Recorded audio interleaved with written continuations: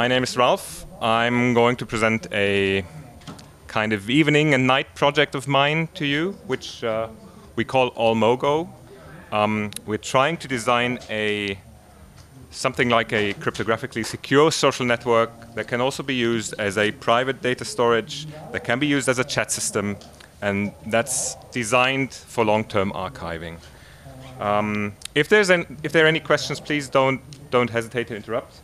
Um, unfortunately, I'm not going to do a demo in the presentation. I can show you some of the prototypes that we have um, after, the, after the presentation, but um, I didn't feel it was, it was right to show it here on stage already. So who, who is Olmogo? Um, it's basically a friend of mine and me. The right one's me. Um, Ali uh, is an entrepreneur who sold his first software company end of the 90s, and um, that was in, in he, he, he, was actually designing a hospital information system. So he was handling clinical information and uh, sold that to a number of uh, hospitals, and then sold his company um, and has now other projects on his agenda. And I'm in my uh, public life, I'm a um, I lead a team of embedded software engineers in one of the large companies, but when the kids are in bed, I'm trying to work on that project. Additionally, we have uh, a few designers and, and programmers with us that, that help us implementing everything, but as I said, it's in an early stage.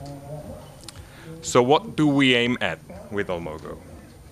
One thing that's on our agenda is to really put back the um, the users in control of their data. Um, I don't know if you've been at the Privacy International talk. I, I seen the speaker here, I think, in the in the in the audience actually. Um, that was a very interesting talk about how companies exploit your data. Um, we would like to provide a platform where you can actually see what kind of data is visible by whom.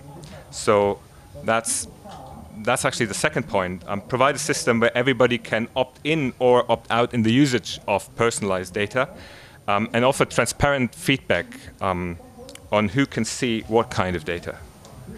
Um, and that brings me to the other point. It's, I don't think it, it makes total sense to keep everything in private, but the border between private life and public life should be clearly delineated. So if I don't care in a certain circumstance about other people seeing my data or using my data, that's fine. It's just about me knowing who is going to be um, acting on, on my data.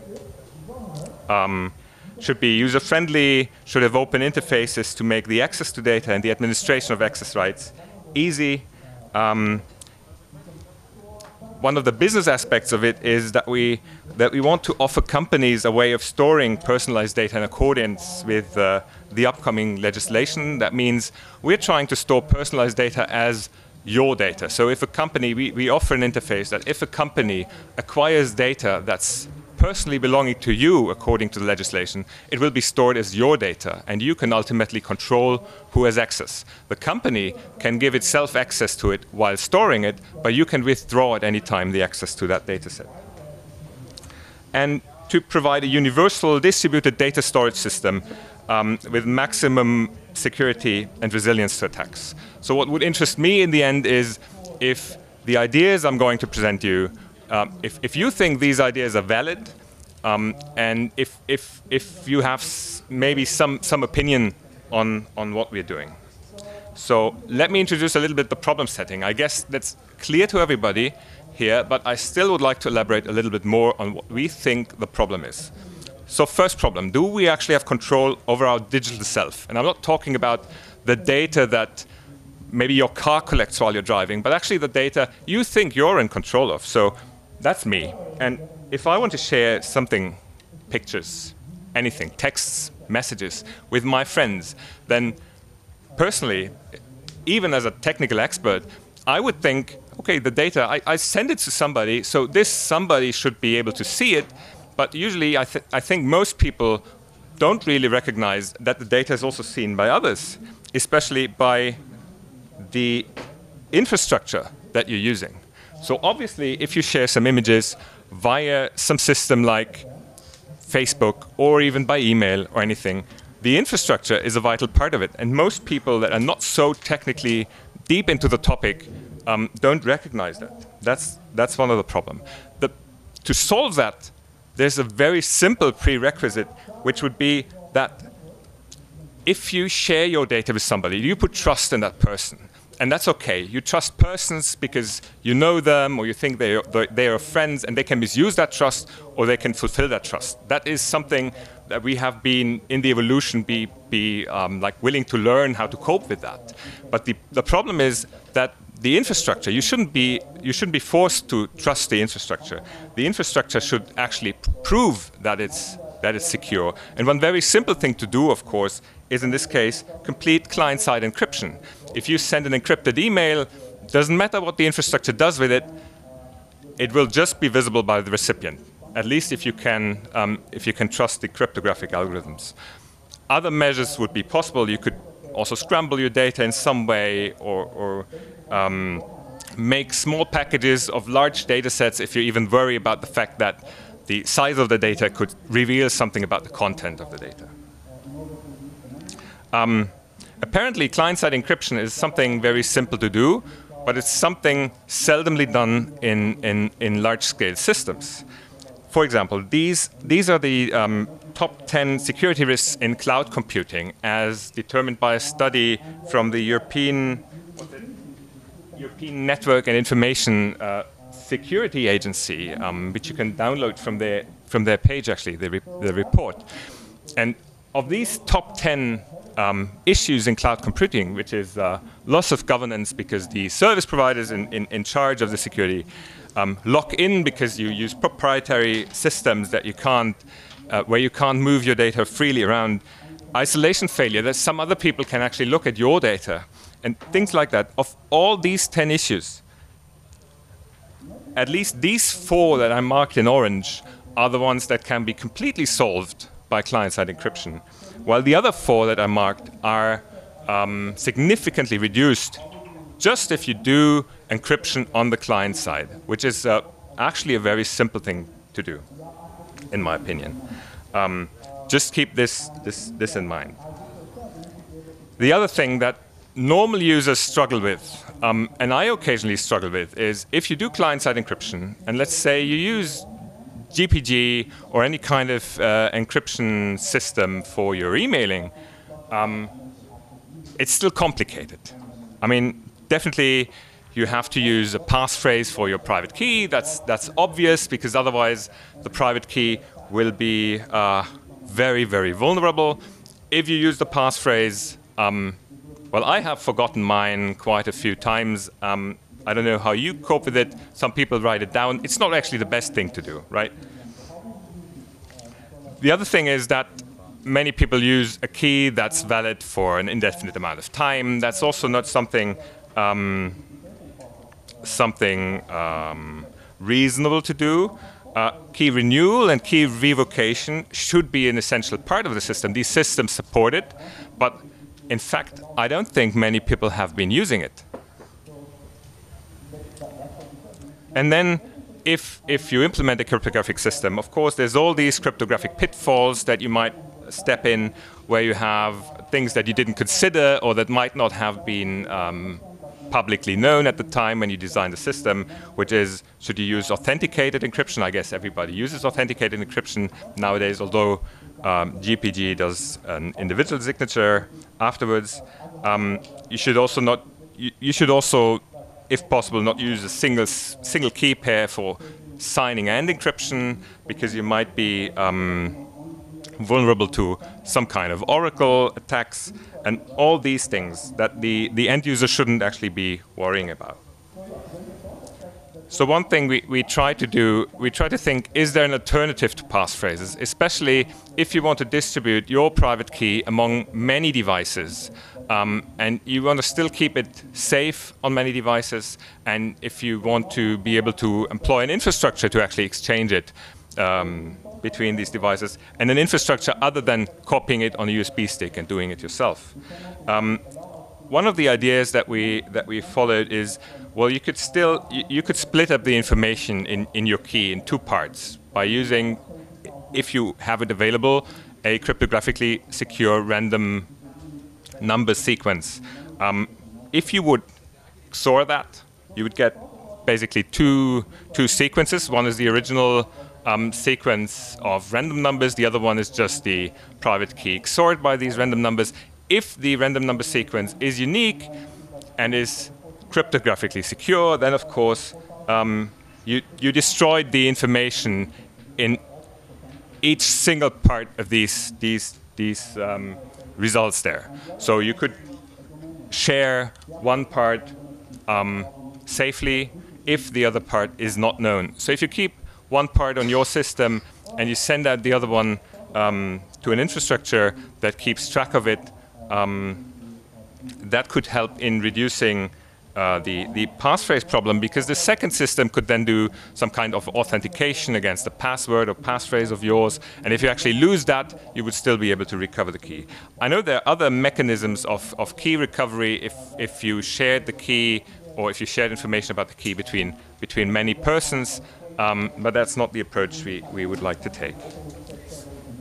And of course, if, if you're designing a client for the, the average user, then the client system should, should take care of all the complicated things like um, renew intervals, keeping track of your old keys to be able to restore the old encrypted information, um, and also use every now and then uh, modified algorithms with different key lengths, with updated uh, block lengths, and, and, and so on. Um, another, another problem that most people, I don't think, are not aware of is um, that encryption alone doesn't suffice to take uh, control of your, your private data. Let's assume I've taken an image, um, and I would like to share that. What, what, what, do I normally do? Maybe I send it by email to a friend of mine. Maybe I send it via a chat system. Maybe I publish it even on a social network if I think that that image can be seen by everybody. I don't care if, if uh, Facebook runs its algorithms against that image. I can be free to share it, and then maybe I didn't switch off the, the iCloud synchronization, and it's even it's, it's even copied to another server. The, the problem with that is um, normally I would like if, if this is happening singularly, I would maybe remember okay with whom I shared that information. But normally I would say that people are not really in control because the data they're actually sharing is copied arbitrarily. If you send an email, it's copied as an attachment. if you if you send it by the chat system, it's copied into the chat system. It's copied to iCloud. It's copied everywhere because it's digital information and copying is cheap. Um, so once you send it out, actually that access has been granted. You have no real record of the fact that you granted somebody access to that image, to that particular image. You cannot withdraw that access right because that information has already been sent to somebody else. Um, and so I, I, would, I would call it that the process of sharing is actually completely out of control because we arbitrarily copy data. When I think about life in my um, in my uh, in, in the business I'm, I'm doing during daytime, then it's it's the same thing. People copy things on network drives. They copy it in different versions. Then they send it via email. They put it on a cloud system, and so on and so forth. And nobody actually has track of where this information is being distributed.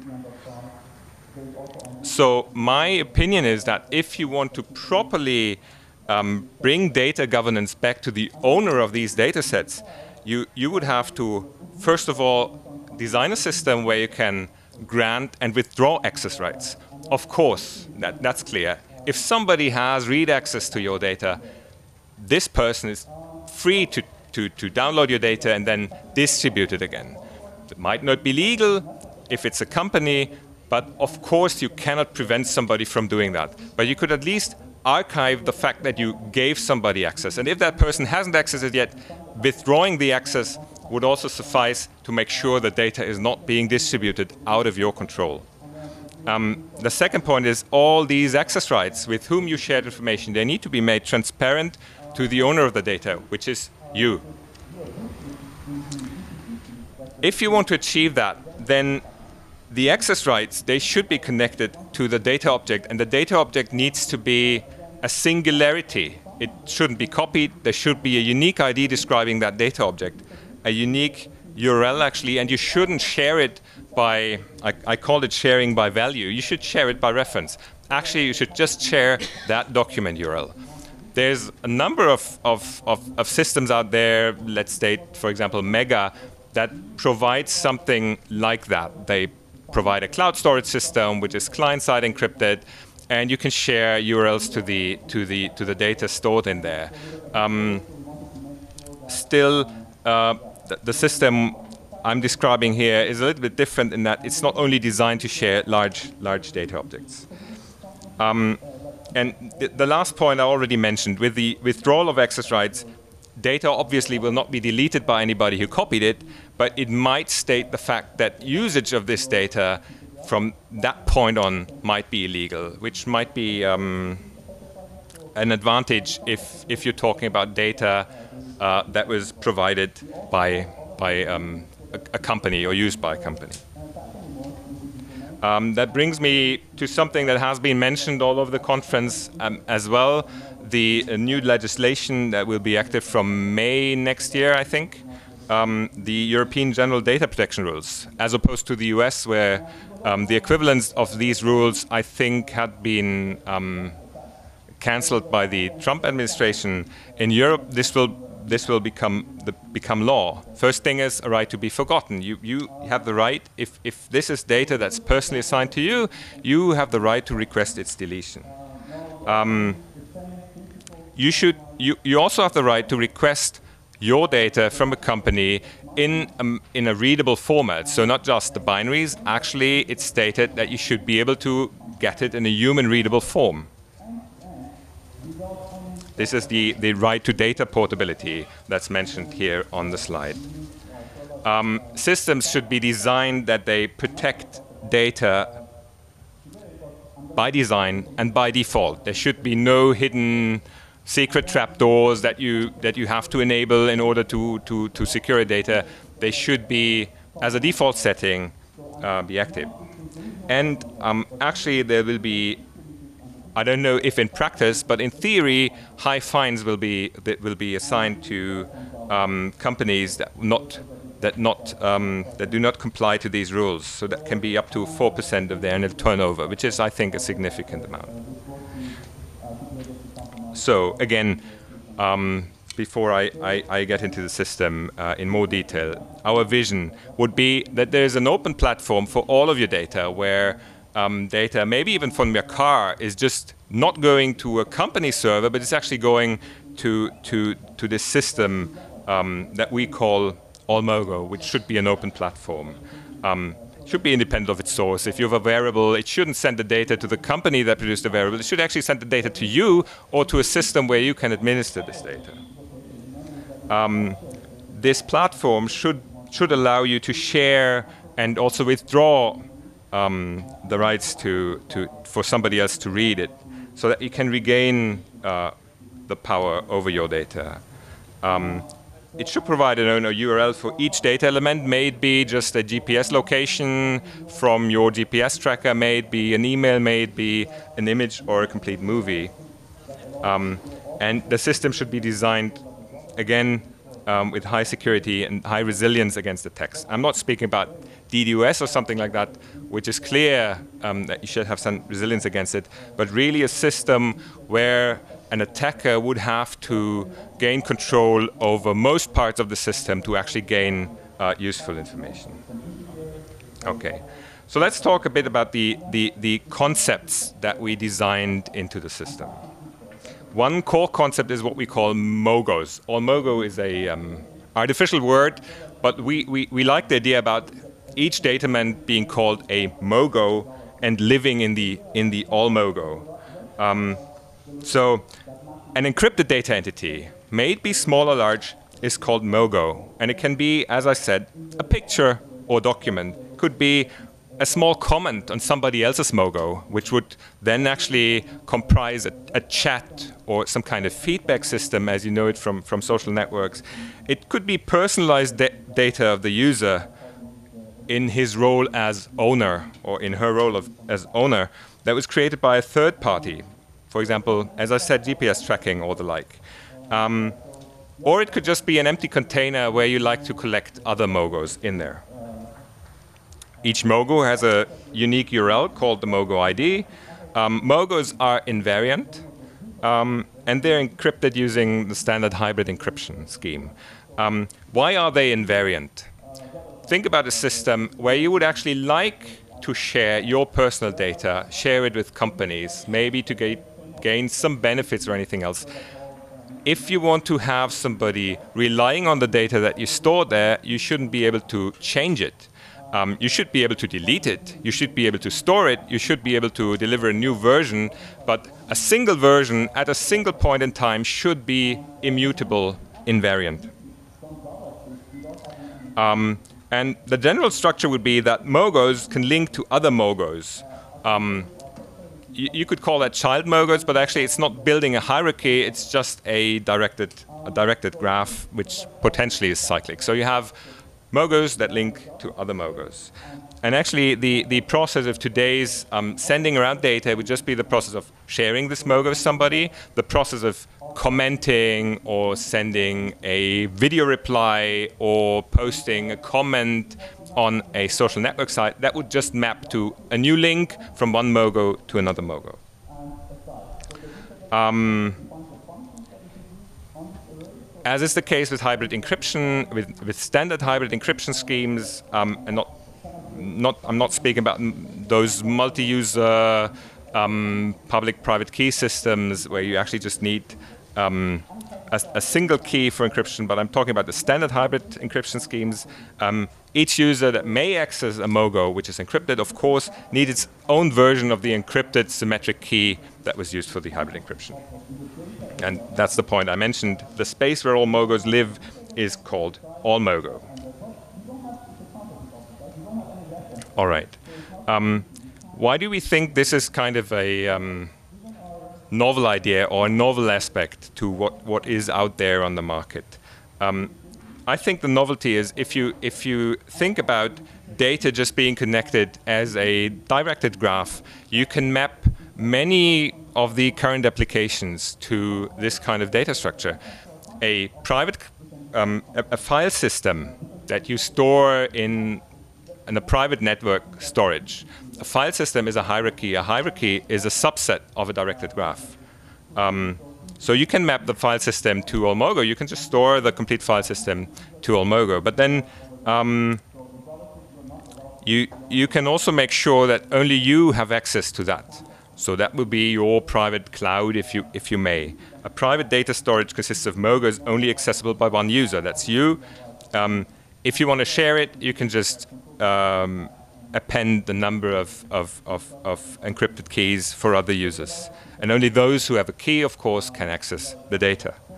Um, if you think about a chat system, a chat system in the standard WhatsApp or Messenger case is just one message after the other that could be a parent Mogo and just different child Mogos underneath that.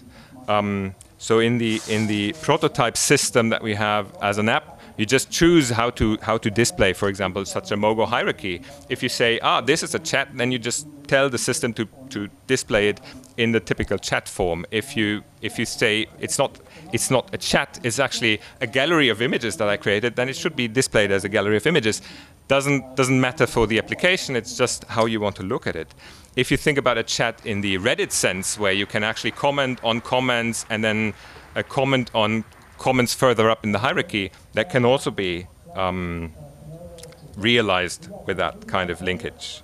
Um, and if you think about social network, there you normally post something and people give their feedback. That's also easy to store in that kind of system. And when you think about designing a user interface for that, I know I'm not going to show it here in the presentation. I'm happy to share the ideas of the user interface with you after the talk, because actually the user interface is currently not connected to the cryptographically secure core of Olmogo. It's just connected to a test server just to see how we can, how we can um, realize the user interactions. The user interactions are very simple. You want to share, withdraw shares, or link Mogos to other links, and you can actually um, fulfill all these, these use cases uh, that I that I shown on this slide. So you just need to slide your Mogo on your app to to a person, and it'll be shared with that person. You can just um, remove a person from a Mogo and it will not be shared any longer with that person. So that's a very, very easy, very easy interaction system. Okay. Uh, let's talk a bit about the programmatic um, structure. I know it might not be readable that well, but I'm, I'm going through it.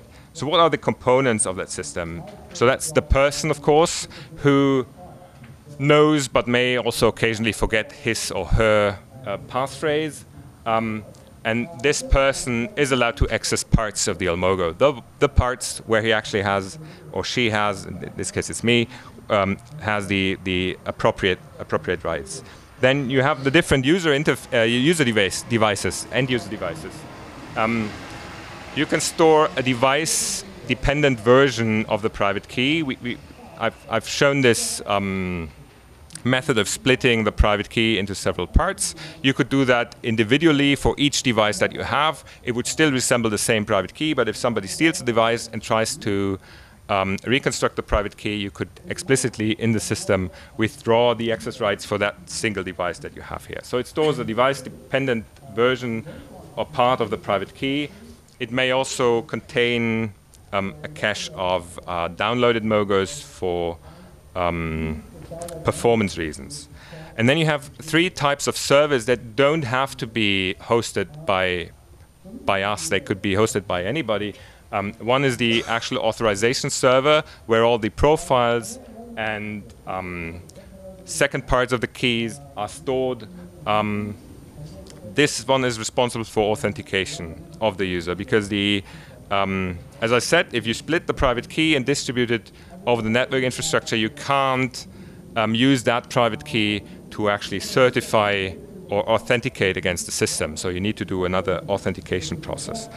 Um, we have the, the indexing server, which is the directory structure where all the links are stored. The actual data content is not being stored, but the index server contains all the URLs for all the Mogos. And if you want to access the actual data set, um, you get a small, small file from the index server that just tells you from which of the storage servers you need to recover what part of, of the file. So we also additionally split a file in several packets, distribute these packets over different, different um, storage servers, and even use a different ID on the storage service. So you'll have a, you'll have a certificate for all uh, for each storage server that you're actually accessing, that certificate is not linked to your actual identity. So in the end, if somebody gets control over the, over the storage server, that person will not be able to reconstruct what kind of data you actually own there and would not be able to derive from the amount of data or the or any kind of metadata or the, the size of individual files, what types these files actually contain. For the index, would you use normal file names or would you have a uh, string of random numbers and letters? Um, so on the index server, you'll reference a Mogo using a URL that's composed of the index server name and a UUID for the Mogo, nothing more. And what is stored with each Mogo is a timestamp, so that I can actually order them in, in consecutive order, and the ownership is marked inside. What's possible is that you store additional meta metadata, but we're not quite sure about how far we go. So if you put a file name in there, that would be vulnerable, I guess. Yeah, but if you if you think it's it's it's not a problem, you, you could add this. So we have um, additional metadata support um, if needed.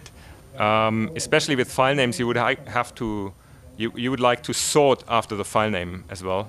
So then it needs to be indexed on the database for retrieval, and that makes it so it's pretty much open then. If, if you open that kind of metadata to, to, to the server, if somebody would gain control of that server, these names would be visible. They would not be transferred necessarily, but they would be visible on the server. So, so one point that we also try to make is we, we try to design a system where the provider of the services doesn't know doesn't know anything about the data being stored. Um, if you store file names, it, it's an issue we're internally discussing, actually. Okay, the authentication protocol, uh, just a quick uh, wrap up. That's a variant, a simplified variant of Kerberos, um, where you send an encrypted authentication request that contains your username and password, which is encrypted by a key um, that you know from the so basically with the certificate you got from the authentication server. Of course, that's not safe.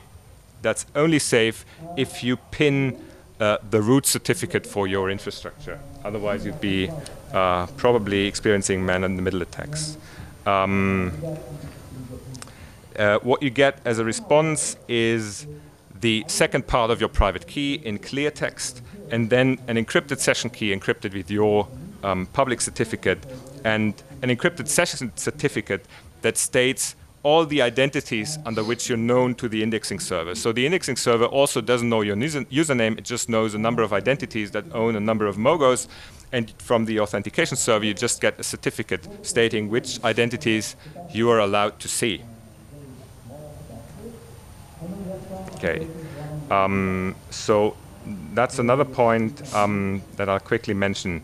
The authentication server knows your knows and uses your username. It maps that username to a number of identities, um, and different identities can be used for different purposes. If you think the information is not so doesn't have to be so secure and you'd actually like to share with a whole bunch of people, you could also think about giving a number of people the same private public key pair, um, which reduces uh, cryptographic um, security quite a bit but if it's a trustworthy group, then might be a possibility. You still have device and person independent um, or person dependent um, private key parts because you split it in different ways using different one-time pads. Um, the indexing server just uses the identities that have been given by the authentication server. It doesn't really have to verify that you're allowed to access um, Mogos. It needs to verify that you're allowed to store new mogos or that, you, that you're allowed to delete mogos, but the actual content is still encrypted. So even if you gain access to the indexing server, you wouldn't be able to read out information. And last but not least, the storage server uses, again, other identities. The idea behind that is um, the storage will actually create most of the the, the, cost in the system because that's the actual data being stored. So what we're thinking about is handing out um, like one-time tickets. So for example, um, I request an identity, a certificate for, let's say, 50 terabytes. Over 10 years, I pay that in a single sum, and for 10 years, that amount of data will be stored there. And if I don't extend that contract, it'll just be deleted. Nobody can use it anyways. And with these, with these um, identities, I just, I just mark my right to store data on the storage server. I don't give any connection to who actually stored data there and um, what kind of data is that. So the storage server doesn't know to which Mogos this data actually belongs. Um, yeah, that's just the storage protocol. I, I think um, I, I already explained it. So in the beginning, you, you authenticate against the authentication server. If you want to store, for example, a larger file such as a movie, you would, you would um, split that in different parts. That could potentially go to different um, storage server using different storage identities.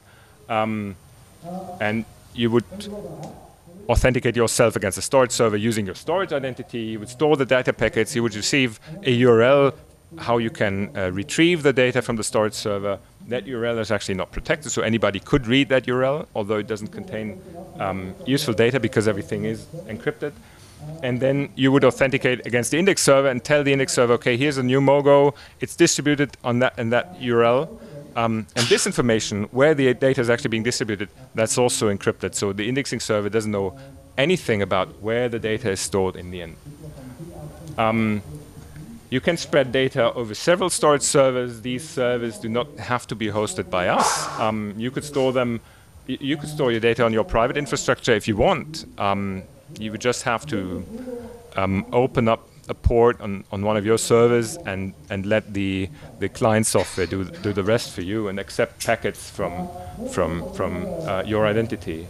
Um, we, we have a strict separation between the structure of your data, so um, who are you connected with, um, how are the mogos linked to each other, and what kind of data is actually stored in them. And these servers operate, as I said, independent of each other. Um, let's just talk a little bit about uh, resilience to attacks in such a system. Um, if we assume the encryption is state of the art, and we can actually because we're not using a fixed encryption algorithm um, that's, that's all configurable and changeable over time, um, assuming that the encryption is state of the art, then if somebody has total control of one of these servers, this person could obviously always harm you in a sense that this person could delete data on a server. You could, if you have physical access to the server, you could just demolish it.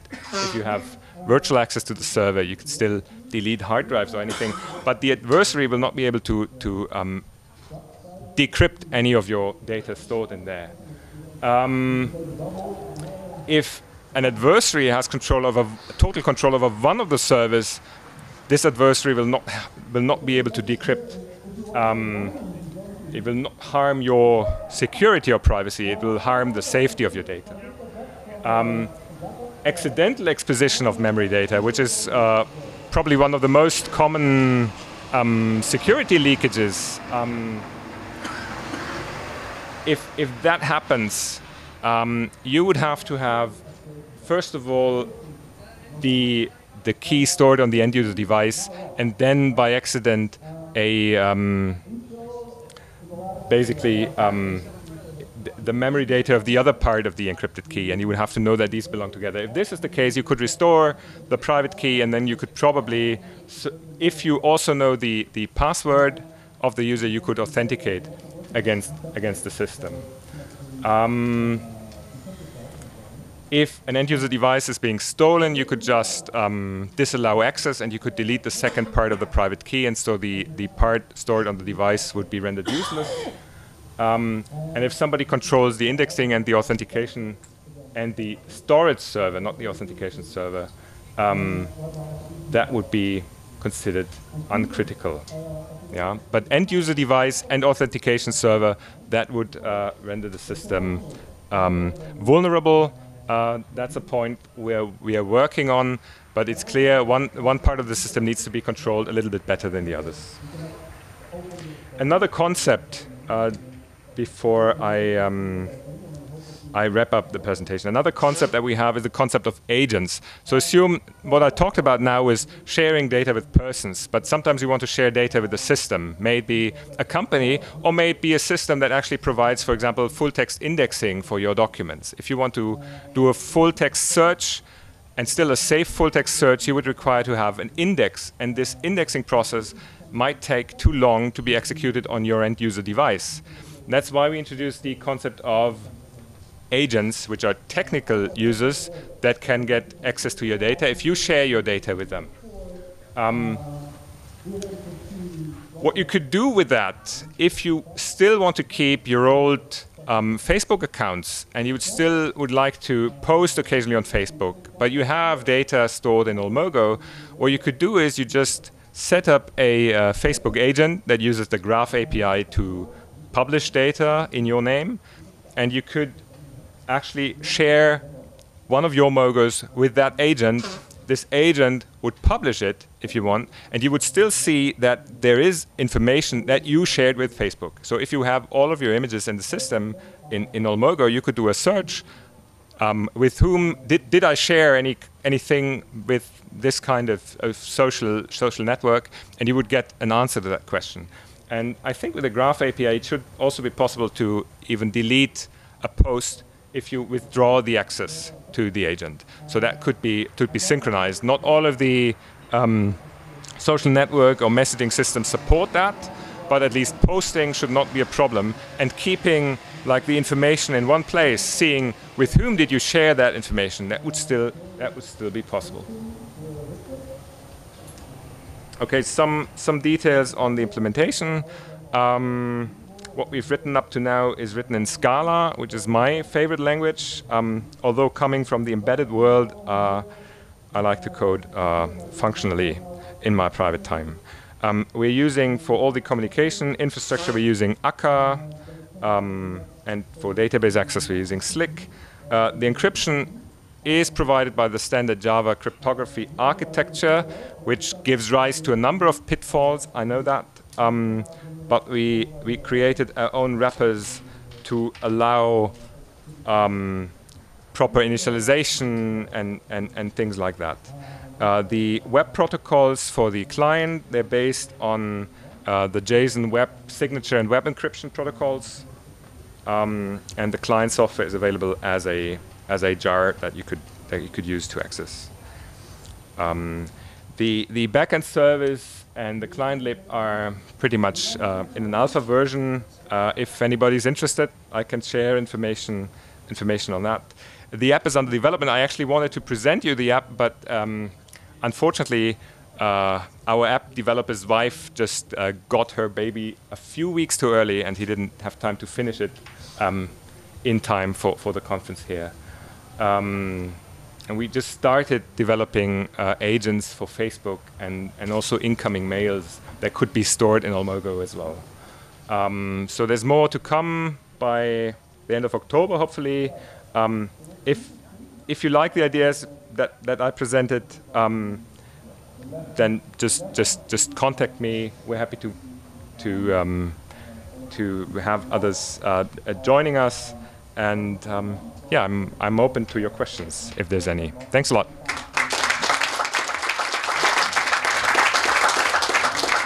Yes, please. Is the system fully open source? Um, so the question was, is the system fully open source? Um, right now, it's not. Will it be?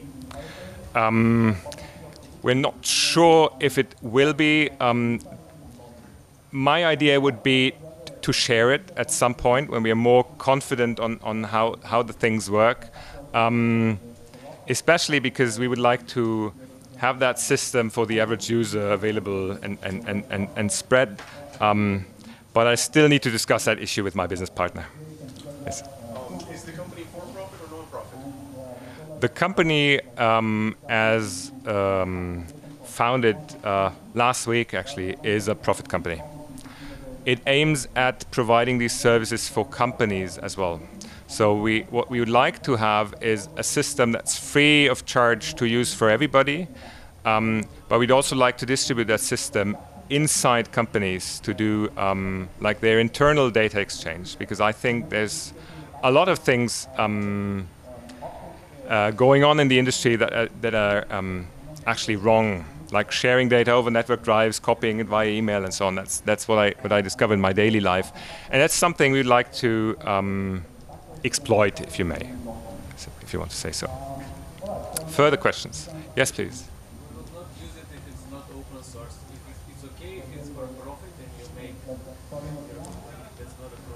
Mhm. It. That's okay. So the, the the point was that how can you trust us if it's not open source? And um, I I fully agree uh, with that uh, with that point, actually. Um, so what we'd like to, if if there's if there's an interest in the community, um, I would like to give out parts of it by now, um, and when the time is right, I would like to open it up because I, I, I fully understand that that's a valid point. Yeah. Thank you. Yes, please. How do you, uh, like Facebook makes money off my off my information that I feed it people doesn't say, how would you make money? Okay, so the question is, how would that uh, company make money? Um, and the the one answer I already gave was we, we are trying to to um, aim at the uh, business area, selling it as an own infrastructure to businesses. Um, the other way of making money would only be possible, I think, by selling storage space. So if if you look at the if you look at Mega, for example, um, which is I guess also not open source, uh, they charge quite a significant amount of money for storing data on their service. And ultimately, that would probably be the case. What I can imagine is that if you share it with companies, and companies actually currently make money with your data, that this um, this money is then given back to you because in this system you could be following um, the usage of data for different purposes. If you, you give data, you hand out your data to a company, why not gaining something from it? It may just be that the storage is, is for free then. Yes, please. Is there a way to store data uh, on my own server uh, or for specific data, critical data? Okay, so the question is: Is there a way of storing data um, on your uh, personal servers that are then accessible through the system, right? And the way to do that would be to install the the storage server component on your private infrastructure, and then create just a single certificate with which you can access that storage server, and and add that certificate to your profile, to your encrypted profile on the authentication server. Then the software would contact that storage server of yours to store data on it. Okay.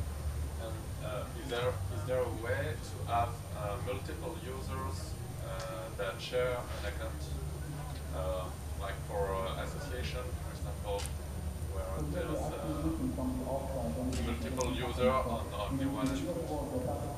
Um, yes, um, but in this case, if you want to share an account, you're sharing a public-private key pair, and what you're ultimately um, losing is um, the knowledge of who actually stored something there. It'll just be that single identity, but that's possible. We we distribute the private key over different devices using different um, one-time pads. Uh, you could also spread it to different users using different one-time pads so that every user can have access of that key. Um, but again, that's like it saves you some time to to store all the encryption information because you have to store fewer keys that have been encrypted. Um, but um, it compromises security a little bit. Yeah.